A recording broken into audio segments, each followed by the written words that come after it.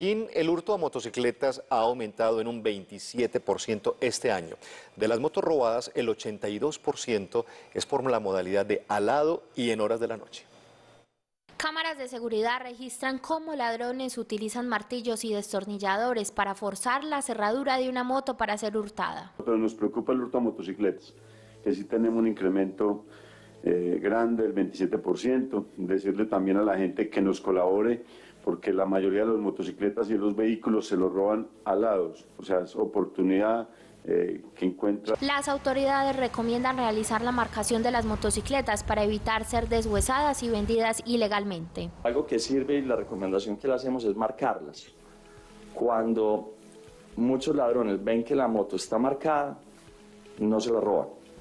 Porque, ¿qué hacen con esas motos? Las deshuesan y las sacan al mercado de partes usadas, eh, no les sirven mucho si están marcadas. En un operativo reciente, la policía recuperó más de 500 autopartes de motos y capturó a cinco personas en la Candelaria.